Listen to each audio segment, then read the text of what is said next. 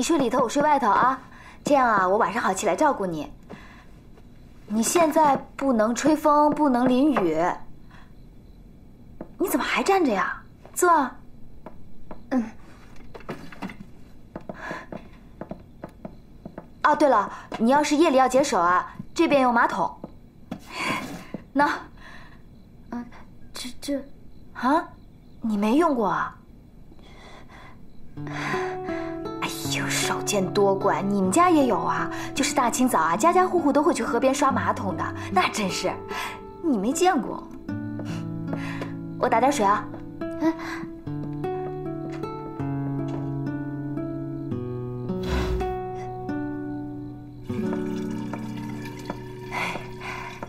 永芳啊，那个是你小姐妹啊，哎啊，也唱歌，女学生啊，我说嘛，人那么文气。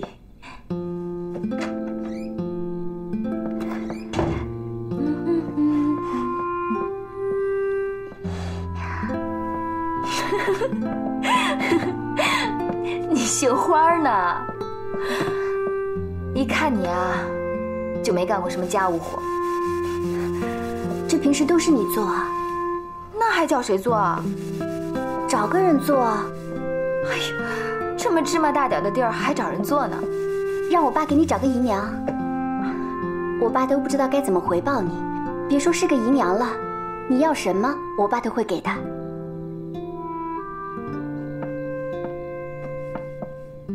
段宁，怎么了？段宁，说呀。你，你知不知道，你爹他喜欢我？谁不知道啊？哎，我爸说了，你呀在我们家可是立第一功的，而且我们俩又共过患难。我爸说啊，你是个值得敬仰的人。果然不是真知道。后来啊，你还常来陪我开导我，你对我那么好。我爸当然喜欢你了，而且啊不是的，你爹他，他他在追求我。好，我跟申报的万先生已经提过了，他愿意支持我们，每日的副刊登一首咱们学堂的歌曲。这新月杂志呢，他也觉得咱们的想法特别好，他们就是觉得，咱们现在的歌曲大部分改编自德国和日本。这最好能有中国人自创的歌曲，可现在咱们自创的歌曲只有一首，就是《春游》。如果能有更多，那是最好的啊！是啊，是啊。我觉得，咱们现在的方向是对的。抗日不是激烈的破坏，而是正面积极的自强自救。卖国货、唱国歌，这些都是好的。唱歌就是一种寓教于乐的方法嘛。可是这种方法未免也太温柔了吧？过分的激烈是会有危险的，而且对中国未必是件好事，反而给日本人留下了画饼。你们忘了，这沈阳事变，喂，那可是日本人。好了，大家都别吵，大家都爱国，只是方式不同。李天，就按照你的方式吧。原来，你跟我爸是这样的关系。哎呦，现在你肯定更加瞧不起我了。你是不是觉得我跟你爸之前包养的那些女人没什么不同？我不会瞧不起你，我只是觉得有点可惜。可惜啊！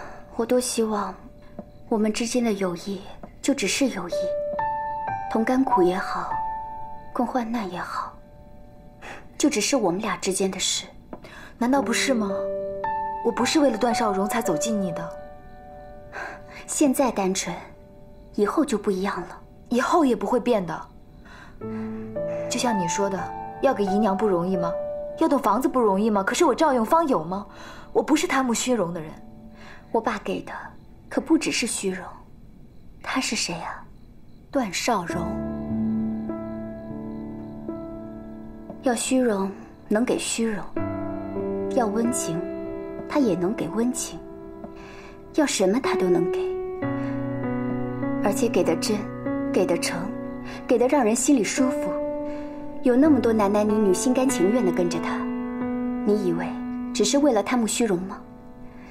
段少荣是个有魅力的男人，你迟早会跟了他的。我才不会。化妆间你不是收了吗？蛋糕你不是吃了吗？房东太太的事情不是帮你解决了吗？每天看你打水辛苦，他不是也让人天天来送水吗？这点点滴滴的关怀，你不知不觉就收了。如果我爸不是商会里的人，他其实是个好男人，你会爱上他的。到时候，我们就尴尬了。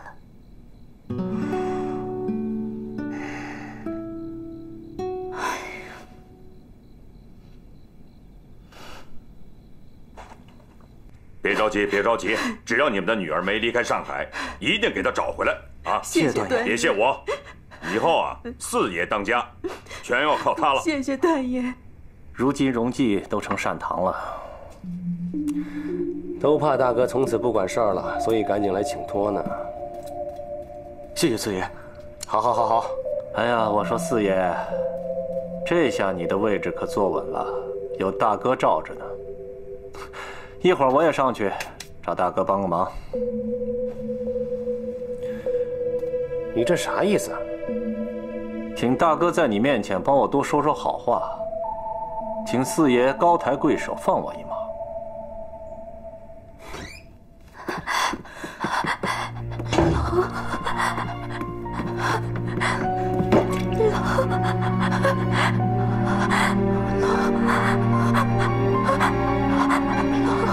我去给你拿被子，我去给你拿被子啊！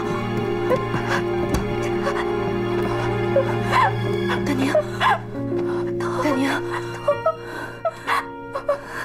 怎么办？啊？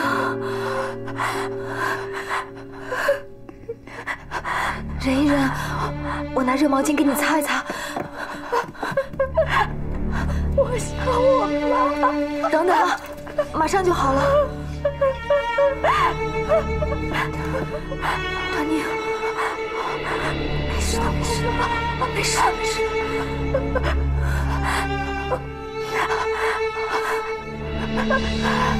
没事的，马腾，没事的。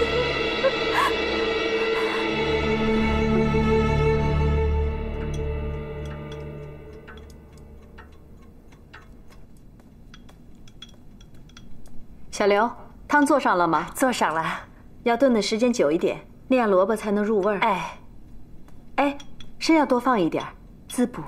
我知道了。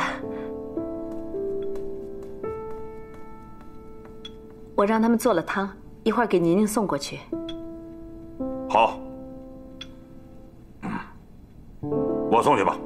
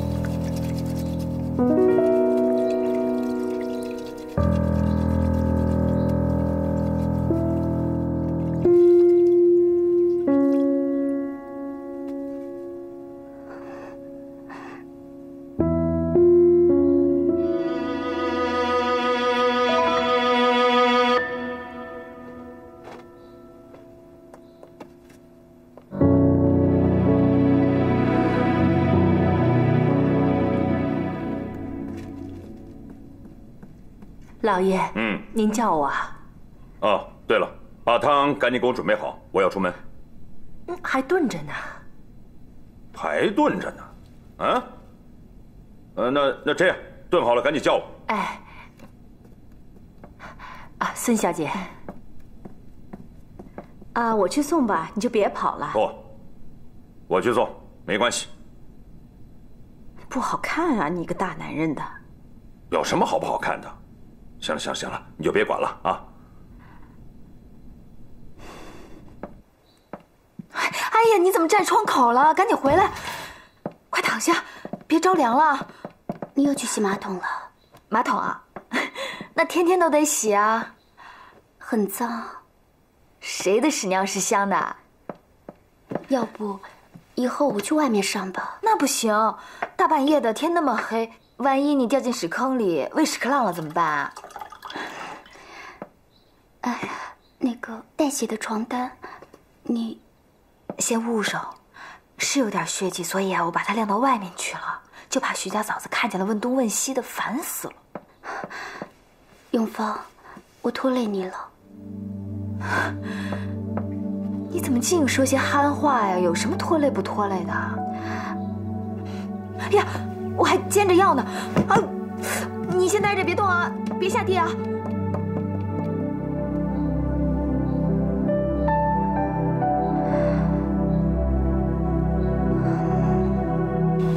干净啊！哎，小张，你多切点肉丝啊！哎，哎，老爷啊，你你忙你们的，这炖汤呢？啊，在这儿呢，在这儿呢。啊，这就是啊啊！哎，你怎么到厨房来了？啊，我看看这汤炖好没？别歇，还没好呢。还不能鲜了？好了叫你嘛。太慢了吧，这是。哎，段爷，方队长来了，在哪儿呢？在客厅等着呢，说是非要见你。他好叫我啊，走。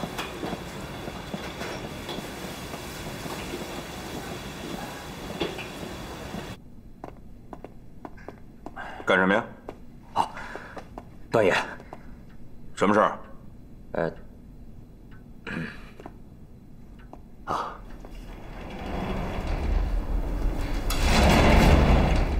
段爷，出事儿了！事儿啊？我不管事儿，找四爷去。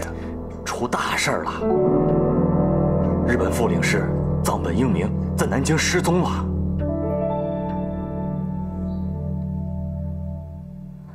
好了，不烫了，喝吧。永芳，我一直在流血，要不怎么把孩子打下来呢？没事的，来，这是孩子的骨血吧？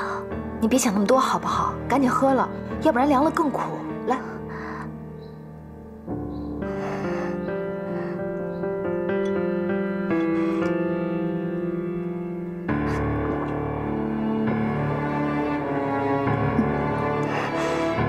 真乖，来，来，赶紧吃个山楂啊！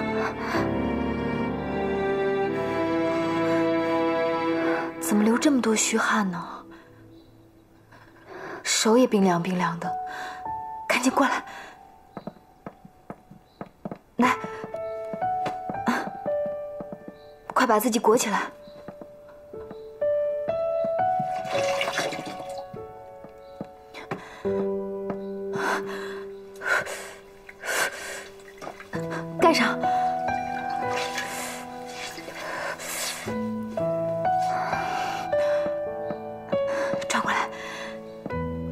宝贝。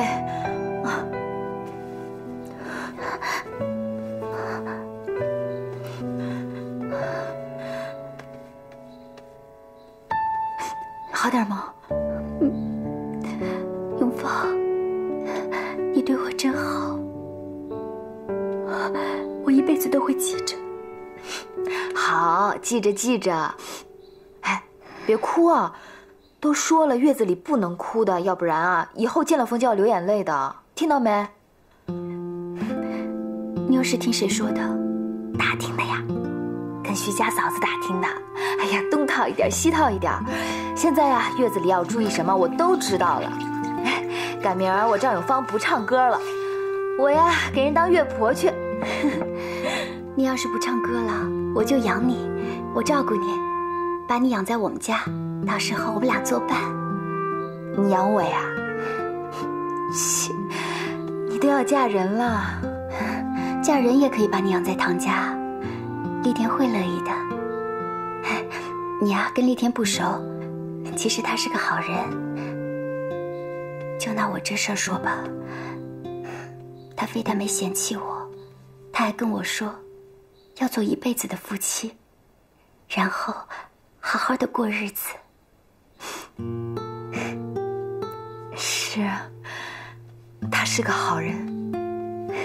哎永芳，你说我是不是有点福气啊？能遇到你们。段宁，相信我，往后你这辈子都会有福气的，一定的。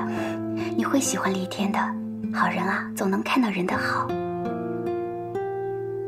好了好了，别说这些了。哎，我呀，出去给你买点猪肝、腰花什么的。许家嫂子说的。躺好了啊，盖上。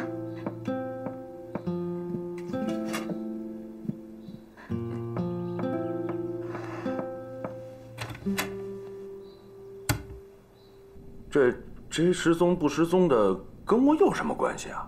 呃，也没怀疑您。废话，凭什么怀疑我呀？啊，就是因为我反日。那要这样，全中国人都是头号嫌疑犯啊！不，我我不是这个意思。对，你看导演，我失言。不是老方，我知道你现在这个位置不大好做。哎，是导演，你看，但是官场上这点事儿，你一点看不懂啊？啊？至于吗？一惊一乍的。不就是走失一个日本人吗？不是，副领事啊，这可不是普通人啊！这，导演，这这是大事儿啊！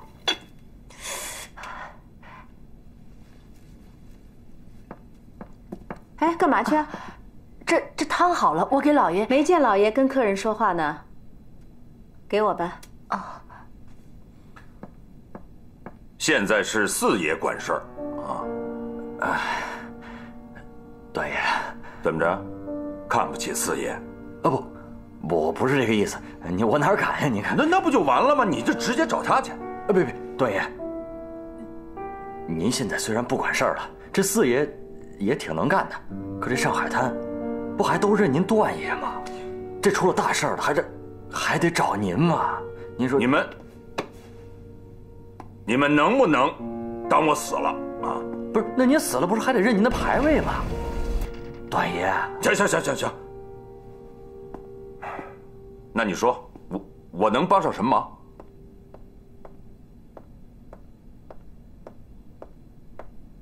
来来来，坐下说。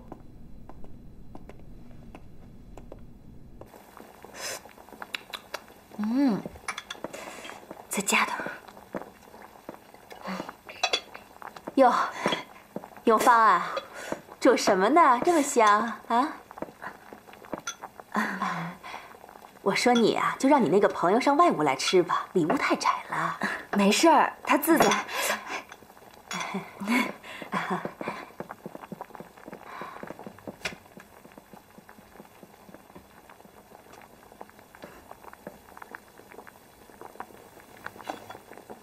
哎呦，开小灶呢。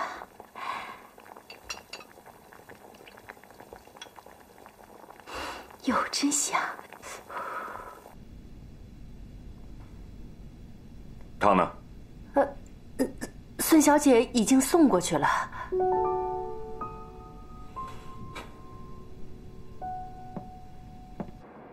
你们胆子太大了，公然跑到我家里来。这要是让别人看见的话，我可是跳进黄河都洗不清了。唐先生，你是日本友人，少来这套。哦，有事儿求我的时候就是友人。那上次那批钨矿，你们给的是什么价钱？李平君，你没有少赚呐。你们赚的更多。你们中国人讲的“鱼水相帮”，生意上可以鱼水相帮，但这件事儿我帮不了。一定要帮，是副领事，副领事在南京失踪了。你不是不知道，我现在不管事儿了，更何况是在南京失踪的，又不是在上海。我们翻遍了整个南京城，没有找到，很有可能被人掳到了上海。你务必找黄老四，像这样的事儿归他管。呃，什么寻人呢？失物也归他。能找他？他跟段少荣一样，是反日的。我们甚至认为这件事情就是他们策划的。李平君，这件事情的后果是很严重的。如果副领事有不测，我国是会报复的。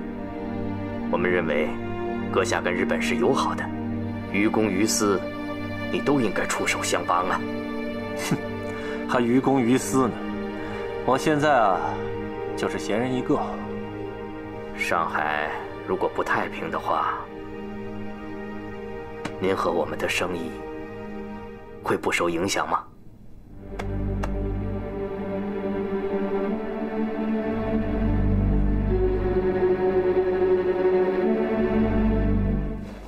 就不准！哎呀，我求你了，不准不准！可是我真的好痒啊！我给你挠挠。不跟你闹，我真的好难受。徐家嫂子都说了，月子里啊是绝对不准洗头的，要不然受了风寒，你就一辈子都要犯头疼的。徐家嫂子的话成圣旨了。是的，你领旨吧。哎呦，永芳，我求你了，求你了，你乖嘛。过了这段时间，你爱怎么洗就怎么洗啊。可是要一个月啊，一个月以后我满头都是虱子了。哎呦，真是拿你没辙。来来来，下来。我拿篦子给你避避。好。哎，这儿。还有这这儿。上面点。永芳，你对我真好。就是啊，我是不是上辈子欠你的？要不是我爸的关系，我肯定跟你认姐妹。嘿，你这是瞧不起你爸还是瞧不起我呀？我现在还有什么资格瞧不起别人啊？又来了，卖乖也不嫌累，舒服了吧？舒服了吧？舒服了吧？舒服了。以后不许再闹了啊！永芳，以后除了丽天，我什么都跟你分享，我的就是你的。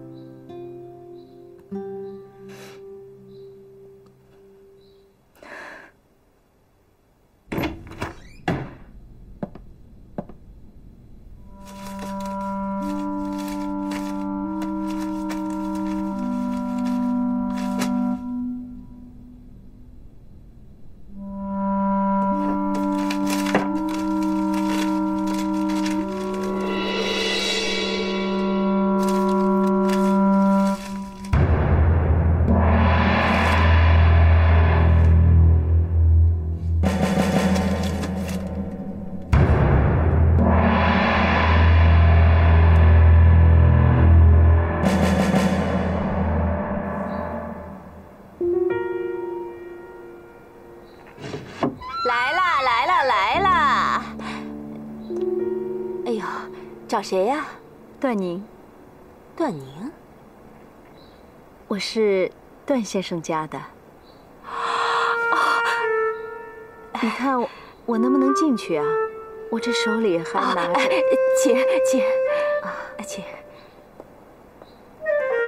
哎呀，真是不好意思，不知道您是段太太。哎呦，哎呀，坐。我家孩子在这儿，打扰你了。哎呀，不打扰，不打扰，一点都不打扰。呃，段宁他在哦，段小姐，段小姐，宁宁，姨妈，我姨妈来了。她怎么来了？不行，满屋子都是药味儿。冷静点，快放那儿。宁宁，快把衣服穿上，反正她不知道。怎么办啊？快把衣服换上。哎，来了。把腰直起来，别让他看出来了。我知道了。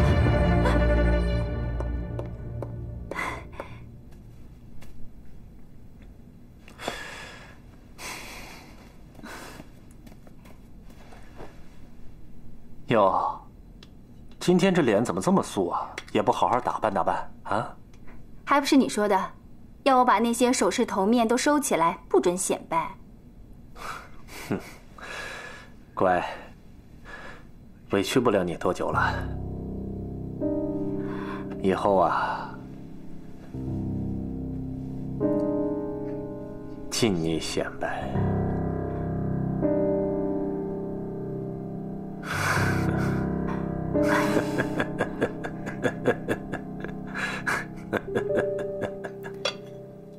糟糕，是萝卜，段宁不能吃。哎呀，这么一大碗汤啊，萝卜汤哎！哎，慧慧，你过来，你最爱吃萝卜汤了，是不是？来来来，一起喝，一起喝。我告诉你啊，孙阿姨做的汤可好喝了，我去拿碗啊，多拿几个啊。我就不喝了。香啊！这汤是特意给宁宁做的。哎，我们喝孙阿姨做的汤可好喝了，那多不好意思呀。没什么不好意思的，孙阿姨她嘴上不说，心可好了。慧慧，你最爱吃萝卜了是吧？好，给你盛啊。哎，赵小姐，你别忙了，我来。我我我，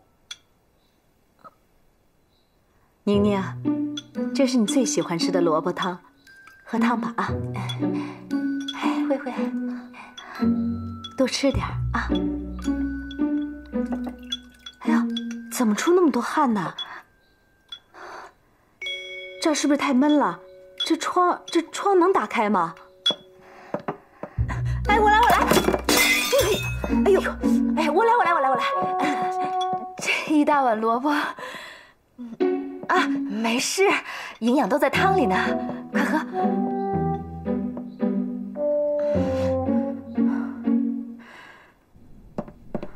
哎你干什么你？这件事情跟你们有没有关系？没关系，没关系。你睁着眼睛说瞎话呢！我都已经看见了。唐立天，你到底是不是中国人？你废话，是中国人你闹，我呢？我只想做一个有智慧的中国人。唐立天，原来你跟你哥一样，你们亲日，你们汉奸。我哥或许跟日本人有关系，但他绝不是汉奸。那你急什么？走失一个日本人，要你急慌慌的出来打探？你能不能用你的脑子好好想想？现在不是走失一个日本人的问题，这将是国与国之间的战争，你明白吗？战争又如何？国民党怕是不敢打，我们中国人不怕死。我知道你不怕死，但死要死的值得。就算死一百个中国人，换他日本人一条性命，那也值得。大明，你怎么这么蠢呢？日本人的命没有那么贵，中国人的命也没有那么贱，就算要死，也要死在战场上。如果这件事情给日本人留下画柄，挑起事端，牺牲咱们自己的老百姓，这就叫蠢。那现在怎么办？人还活着吗？赶紧把人给放了，否则这个后果你承担不起。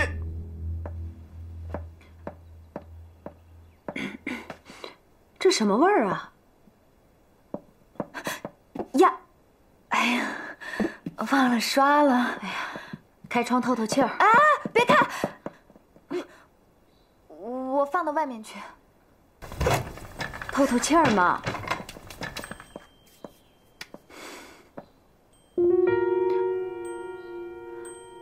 我说呢，是药味儿。我喝的。哦，赵小姐哪儿不舒服啊？我就是那个要调理。调理什么呀？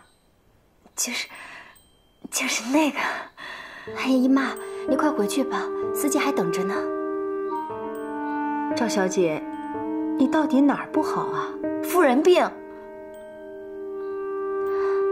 不好说，你怎么非让人家说出来呢？宁宁，别在这儿打扰人家了。哎，不打扰。你看你在这儿，赵小姐都没法好好休息了。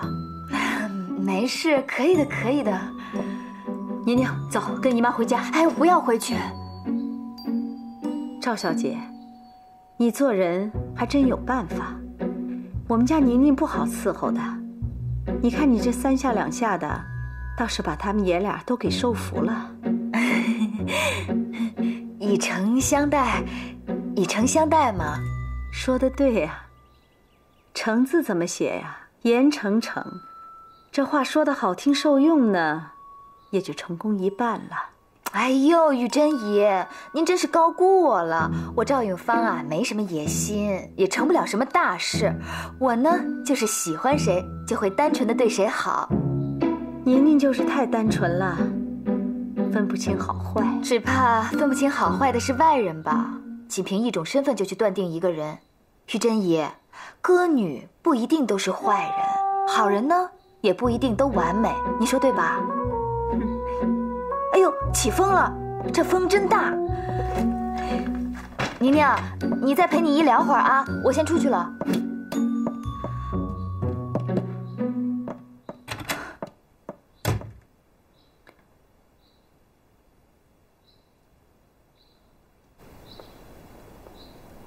讨人厌阴阳怪气呸！说谁呢？该不会说那个段太太吧？我看她人也挺好的，对人也挺和气的哈。她才不是什么段太太呢，她就是段宁的姨妈。哎呦，还好还好。干嘛？哎呀，我跟你说吧，我还一直担心人家段老爷的老婆找上门来呢。那你就是他老婆，我也不怕。我跟段少荣一点关系也没有，就是有关系又怎么了？你跟人家女儿关系不是好着呢吗？啊？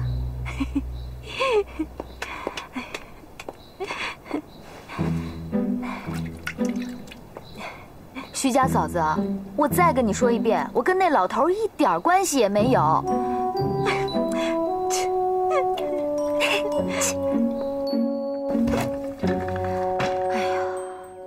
这种地方你也能住，比家里佣人住的地方都差。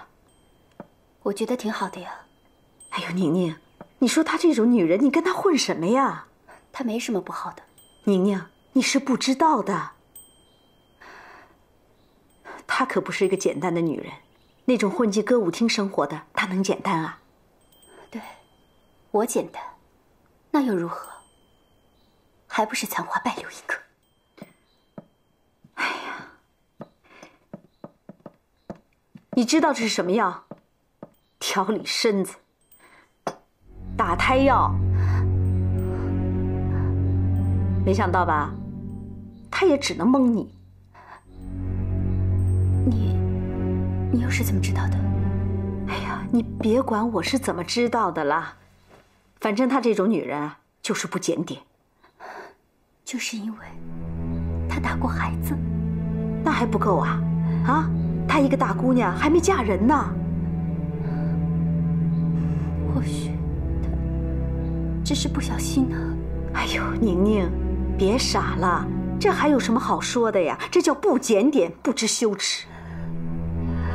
我看他还不知道打了多少次呢，说起来面不改色，老皮老脸的，也只有你能信他。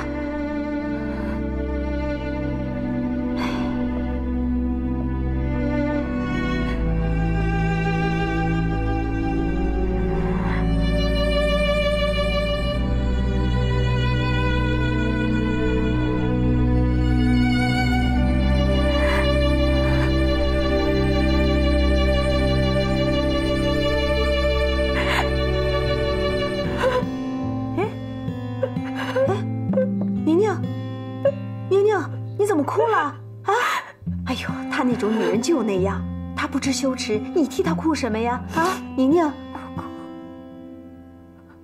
我在哭。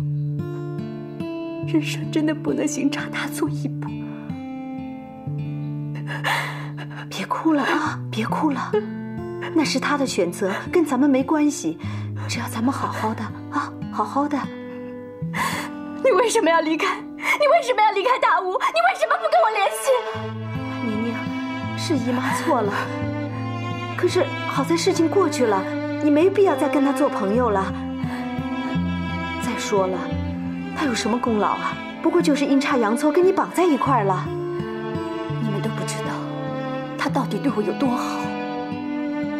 能有多好啊？不过就是想借着你勾引你爸。人家不稀罕我爸，方从头到尾就没有稀罕过我爸。宁宁，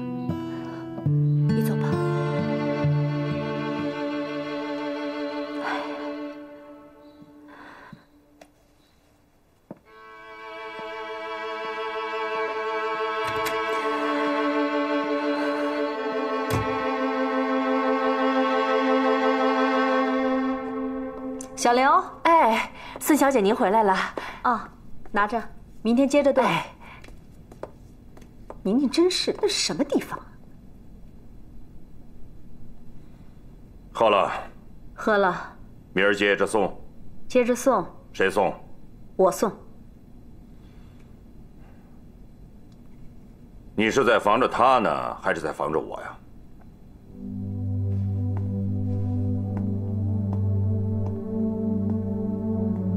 我段少荣想见什么人，你拦得住吗？那不是好女人，对，天底下除了你姐，谁都不是好女人。确实不好，但他们至少比她懂事，比她知道分寸。分寸的大小不由你来决定，我给他们多大的空间，他们就有多大的分寸。像白露，她的分寸就只能在小洋楼，而赵永芳在这儿，我的心就是她的分寸。你知不知道她是什么样的女人？我要的女人，她怀着孩子呢，是你的。这几天她没去大世界，不是在家陪宁宁，是在家吃打胎药。这不结了，她都打了。声张熟卫，迎来送往，不知羞耻，这种女人你也要？要。少荣哥，你别被他蒙了。我乐意。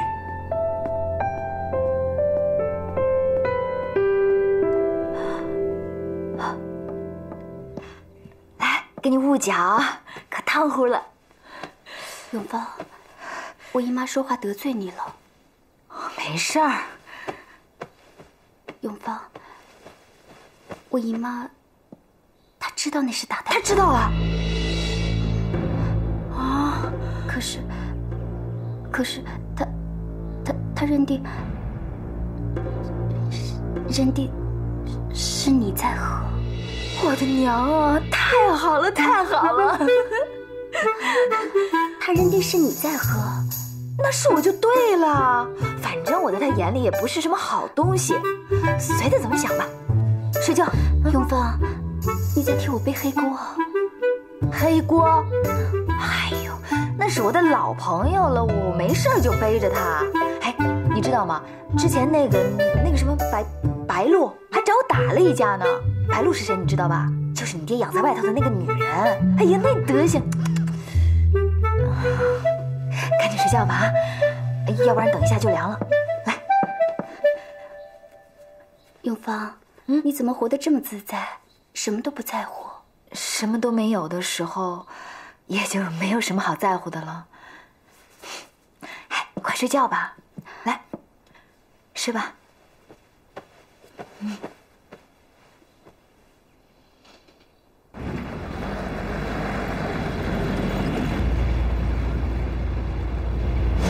她怀着孩子呢，是你的。每次大哥哥都会带着蛋糕来看她呢。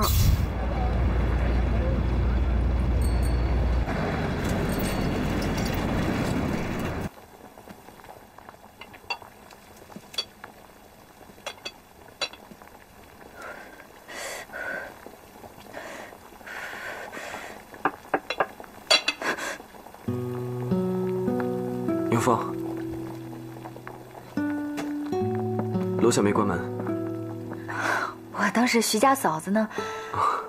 段段宁睡了，屋里头坐吧。怎么这么早就睡了？没事儿，就是受了点风寒。哦。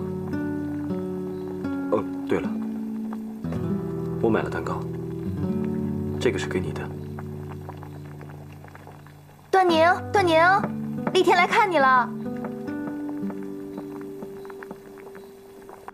你呀，怎么这么不小心啊？以后多注意点啊。嗯。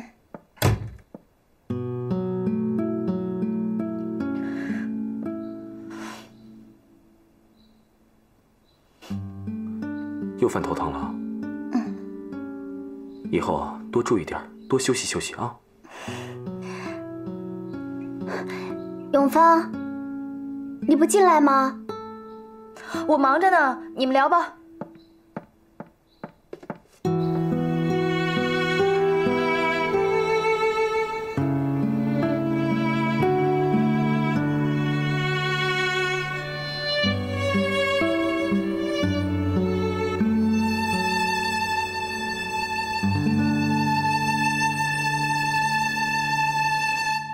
的脸色不太好。这两天有一点不舒服。不舒服为什么不回大屋呢？大屋宽敞，而且还有你姨妈照顾你。我喜欢这儿，小屋小房的，有家的感觉。大屋太冷清了。知道了。时间短还行，时间长了你就不习惯了。再说了，你在这儿啊，别人还得照顾你，对吧？不过永芳待我真好，像亲姐妹一样，而且跟她越接触，越觉得她好。她替你洗手绢，贴在窗上晾一夜。她做人一点都不假，我觉得一点都不像欢场里的女人。哎，不如以后我们结婚了就把她接过来吧，这样子，嗯，她也可以教我唱歌，我们也可以教她读书写字，多好啊！结婚以后就把他接过来，好不好？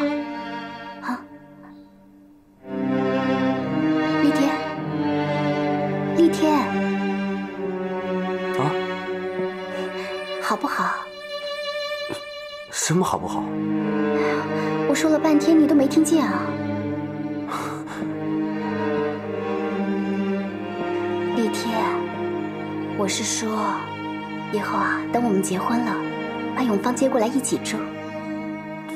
这这不太好吧？这有什么不好的？永芳也算是我的患难之交。可人家自己也有家，干嘛非跟咱们住一块儿啊？